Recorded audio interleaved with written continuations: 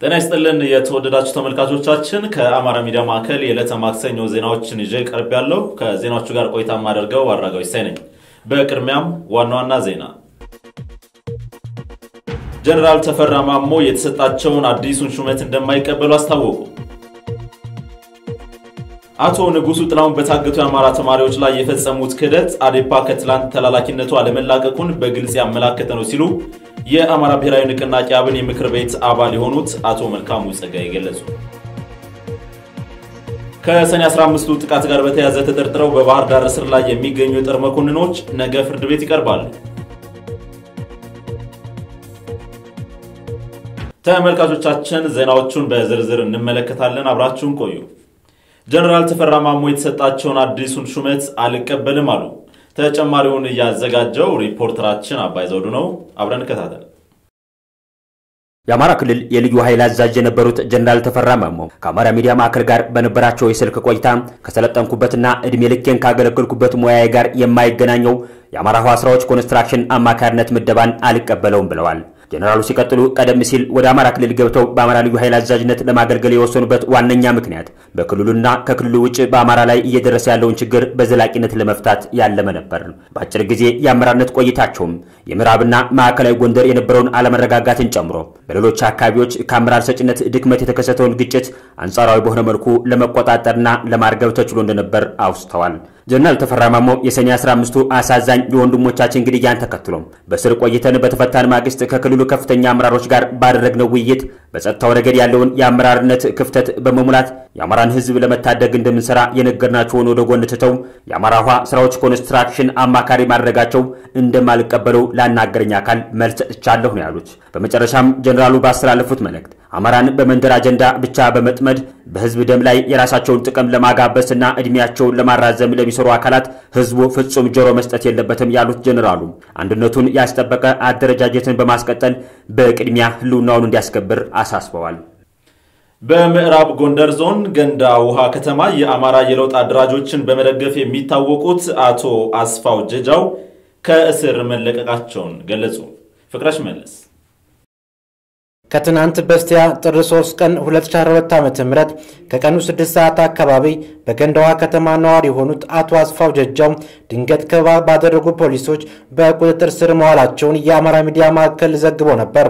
አቶ አስፋው ለተጎዱት ወገኖች ጥብቅና በመቆም የለውጥ አደረጃጀቶችን በመደገፍና የተለያዩ የማህበራዊ ሚዲያ አውታሮችን በመጠቀም የአመራሩ ብልሹ አሰራርን በማጋለጥ እንደሚታወቁ ምንጮች መስክረዋል። በአማራ ሕዝብ ላይ የተከፈተውን ጥቃት ይቁም በሚል ባለፈው ዓመት በትግሉ የተሰዉትን የእነ አርበኛ ብርሌው ብቃልና ያመነው ታከለ ምስል የያዘ ቲሸርት አሳትመሃል፣ በአደባባይ እንዲዘከር ቀስቅሳ አድርገሃል። ባለፈው ዓመት በገንዳ ውሃና ኮኪት በመከላከያ የተገደሉ ቤተሰቦችን መንግስትን እንዲጠይቁ ቀስቅሳል መባላቸውን አውስተዋል። ከአንድ ዓመት በፊት በገንዳ ውሃና በኮኪት በመከላከያ የተገደሉ ወገኖች ቤተሰብ መደገፍ እንዳለባቸው በክልሉ መንግስት ጥናት የተደረገ ቢሆንም እስካሁን የልጅ ማሳደጊያ ገንዘብ አልተከፈለንም በሚል ቅሬታ ማቅረባቸው ይታወሳል። በገንዳ ውሃ ከተማ አስተዳደር ፖሊስ ጣቢያ ለአንድ ቀን የታሰሩት አቶ አስፋው በመተማ ወረዳ የመጀመሪያ ደረጃ ፍርድ ቤት ቀርበው በ600 ብር ዋስትና መለቀቃቸውን አቶ አስፋው አረጋግጠዋል። አቶ ንጉሱ ጥላሁን በታገቱ የአማራ ተማሪዎች ላይ የፈጸሙት ክህደት አዴፓ ከትላንትናው ተላላኪነቱ አለመላቀቁን በግልጽ እያመላከተ ነው ሲሉ የአማራ ብሔራዊ ንቅናቄ አብን ምክር ቤት አባል የሆኑት አቶ መልካሙ ጸጋይ ገልጸዋል። ሪፖርተራችን አባይ ዘውዱ አነጋግሯቸዋል። አብረን እንከታተል።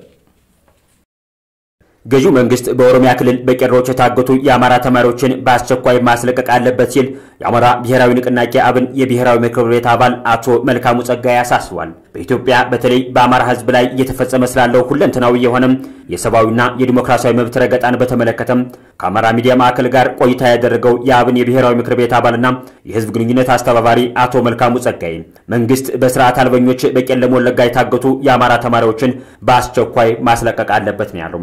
አቶ መልካሙ እንዳለው የአማራ ተማሪዎችን ለይተው ያገቱ ታጣቂዎች ይህ ነው የሚባል ጥያቄ ሳያቀርቡ በንጹሐን ሴት እህቶቻችን ላይ እየፈጸሙት ያለው አስነዋሪ ድርጊት ዓለም አቀፋዊ ወንጀል ነው ብለዋል። በመንግስት መዋቅር ውስጥ ያሉ ከፍተኛ የሴት አመራሮችም ዝምታቸውን ሰብረው የታገቱ ተማሪዎች እንዲለቀቁ መስራት አለባቸው ያለው አቶ መልካሙ የጠቅላይ ሚኒስትሩ ፕሬስ ሴክሬታሪያት አቶ ንጉሶ ጥላሁን በድርጊታቸው ማፈር አለባቸው ያለው ያልተለቀቁትን ታጋቾች እንደተለቀቁ አድርጎ በመግለጥ ለንጹሐን ድምፅ እንዳይሆኑ ማዘናጋት ተጠያቂነትን የሚያስከትል ከባድ ወንጀል መሆኑን የጠቆሙት አቶ መልካሙም በእርግጥም ይህ የሚያሳየው አዴፓ ከትናንት ተላላኪነቱ አለመላቀቁን ነው ብለዋል። አቶ መልካሙ ጠቅላይ ሚኒስትር ዶክተር አብይ አህመድ የሚመሩት መንግስትም ከተረኝነት አስተሳሰብ መውጣት እንዳልቻለ ብዙ ማሳያዎችን ጠቅሰዋል። እንደ አብነትም ከ86 በላይ በሚሆኑ ንጹሐን ላይ በአደባባይ ዘግናኝ ግድያ እንዲፈጸም ያደረጉና ከ20 በላይ ባንኮችን ከዘረፉ አካላት ጋር አብሮ እየሰራ ያለው መንግስት በአንጻሩ በሰላማዊ መንገድ የሚታገሉ የአብን አመራሮችን በእስር አጉሯል።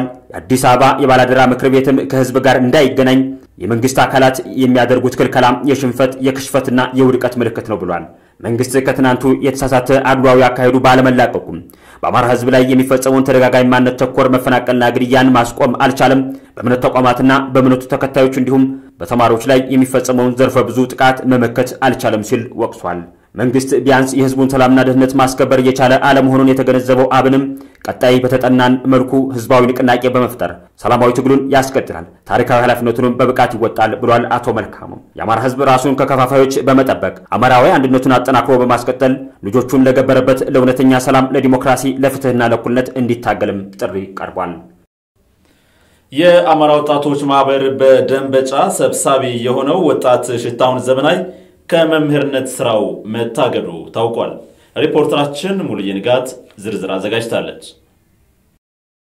የደንበጫ አማራ ወጣቶች ማህበር ሰብሳቢ የሆነው ወጣት ሽታውን ዘበና ያለ በቂ ምክንያት ከስራው መታገዱ በየትኛውም መስፈርት አግባብነት የሌለውና አሳፋሪ ድርጊት መሆኑን ህዝባችን ሊያውቅልን ይገባል ሲሉ የማህበሩ አባላትና የአካባቢው ነዋሪዎች ቅሬታቸውን አቅርበዋል። የክልሉ መንግስት እውቅና ቢነፍገውም የፌዴራል መንግስት እውቅና የሰጠውን ማህበሩ አደራጅተህ መራህ በሚል ተልካሻ ምክንያት ሰብሳቢያችን ከስራ መታገዱ ዛሬም በክልላችንና በወረዳችን የወያኔ ርዝራጆች በህዝባችን ላይ ሊደግሱ ያሰቡትን ግፍና መከራ ፍንትው አድርጎ የሚያሳይ አዝማሚያ መሆኑን የከተማችንና የወረዳችን መላው የአማራ ህዝብ እንዲገነዘብልን እንፈልጋለን። የሚሰራውን ሸፍጥ እንዲረዳ እየገለጽ ይህ በአማራ ህዝብ ላይ ከተቃጡ አደገኛ ውሳኔዎች አንዱ አካል መሆኑንም ማስገንዘብ እንፈልጋለን ሲሉ ገልጸዋል። በአራቱም አቅጣጫ በአማራው የግፍ ጽዋ እየተጋተ ባለበት በዚህ የመከራ ዘመን አማራ እንደ ህዝብ በአንድነትና በጋራ እንዳይቆምና ጠላቶቹን እንዳይመክት ዘመኑና ነባራዊ ሁኔታው ባልተረዱ ዘገምተኛው የሚሰራው ሸፍጥ አስቸኳይ ማስተካከያ እንዲደረግበት እያሳሰብን ወጣቶችና መላው የከተማችን ማህበረሰብ ከጎናችን እንዲቆም ሲል የወጣት ማህበሩ በፌስቡክ ገጹ አስታውቋል። ከሰኔ 15ቱ ጥቃት ጋር በተያያዘ በባህር ዳር ማረሚያ ቤት የሚገኙ ከፍተኛ የጦር መኮንኖች ነገ ፍርድ ቤት ይቀርባሉ። አባይ ዘውዱ በባህር ዳር ማረሚያ ቤት በስር ላይ የሚገኙ ከ50 በላይ ተከሳሾች ታህሳስ 1 ቀን 2012 ዓ ም በአማራ ክልል ጠቅላይ ፍርድ ቤት ቀርበው ተለዋጭ ቀጠሮ ለጥር 6 ቀን የተሰጣቸው መሆኑ ይታወቃል። ጉዳዩን የሚከታተሉ የአማራ ክልል ጠቅላይ ፍርድ ቤት በሰጠው ትዕዛዝ መሰረት በነገው ዕለት ከጠዋቱ ሁለት ሰዓት ተኩል ጀምሮም የሰኔ 15 አሳዛኝ ክስተት ተከሳሾች ጠበቆች ላቀረቡት የክስ መቃወሚያ አቃቢ ሕግ ምላሹን ይዞ ይቀርባል ተብሎ ይጠበቃል።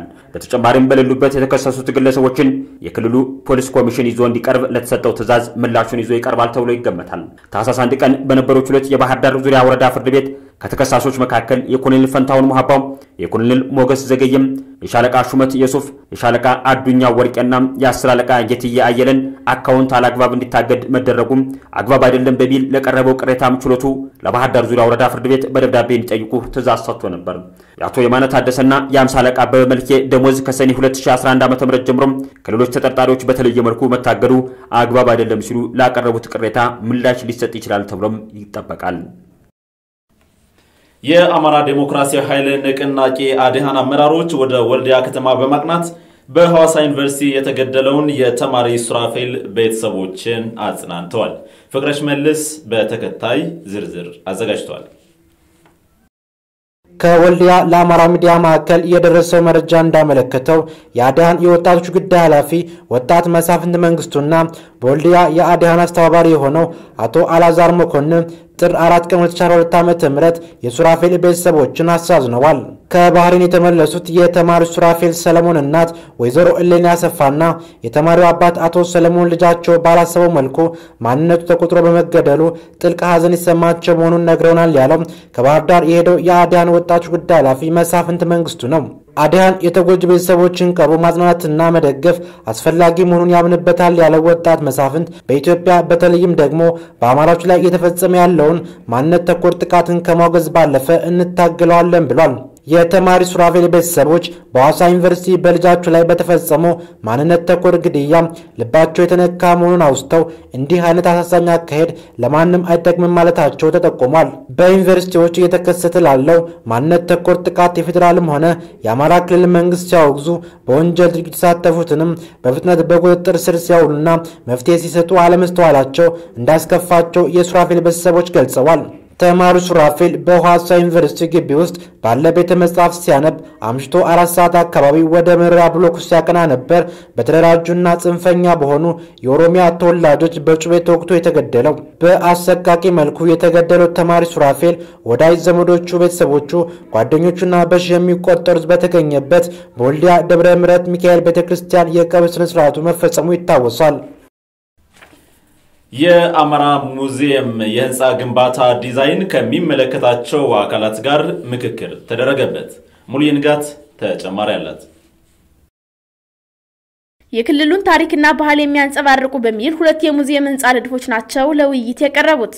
የላሊበላ ውቅር አብያተ ክርስቲያንና የጎንደር አብያተ መንግስታት ቅርሶችን የሚያንጸባርቅ የህንፃ ንድፍ በአንደኛ አማራጭነት ለውይይት የቀረበ ሲሆን በአገልግል ቅርጽ የተሰራ የህንፃ ንድፍ ደግሞ በሁለተኛ አማራጭነት ቀርቦ ውይይት ተደርጎበታል። የቀረቡ ንድፎች በክልሉ ከሚገኙ ታሪካዊ የስነ ህንፃ ጥበቦችን የክልሉ ህዝቦች የጋራ ባህላዊ መገልገያ የሚያሳይና ዛሬ ክልሉ የደረሰበትን ደረጃ እንዲገልጹ ተደርጎ እንደተዘጋጁ በውይይቱ ተገልጿል። የአማራ ክልል ባህልና ቱሪዝም ቢሮ ኃላፊ ዶክተር ሙሉቀን አዳነ የአማራ ሙዚየምን ለማስገንባት የመሰረት ድንጋይ ከተቀመጠ መቆየቱን አስታውሰው ሀሳቡን ወደ ተግባር ለመቀየር የሚያስችል ስራ እየተሰራ መሆኑንም አስረድተዋል። ሙዚየሙን ተግባራዊ ለማድረግ ከመንግስት ድጋፍ ባለፈ ማህበረሰቡንም ለማሳተፍ እየተሰራ እንደሆነም ዶክተር ሙሉቀን ገልጸዋል። የባህልና ቱሪዝም ሚኒስትር የሆኑት ዶክተር ሂሩት ካሳው እንደገለጹት ሙዚየሙ እንዲዘገይ ካደረጉ ምክንያቶች አንዱ በዲዛይን ላይ በነበሩ ልዩነቶች ስምምነት ላይ ባለመደረሱ ነው። ሙዚየሙ ሊሰጣቸው የሚገቡ አገልግሎቶች ምን እንደሆኑ በአሰሪው አካል በግልጽ የማቅረብ ችግር እንደነበሩም ዶክተር ሂሩት ተናግረዋል። የሚገነቡት ህንፃዎች ለሙዚየሙ አገልግሎት ከመስጠት ባለፈ የአካባቢውን ታሪክና ባህል የሚያንጸባርቁና ለቱሪስት መስህብ መዳረሻ እንዲሆኑ ታስቦ መሰራት እንደሚገባም ዶክተር ሂሩት ገልጸዋል። ተሳታፊዎቹም የቀረቡትን ንድፎች የክልሉ ህዝቦች የጋራ ባህል ወካይ በሆነ መንገድ መቅረብ እንደሚገባቸው አንስተዋል። ግንባታውን በከተማዋ ማዕከል ላይ መገንባት እንደሚገባም አሳስበዋል።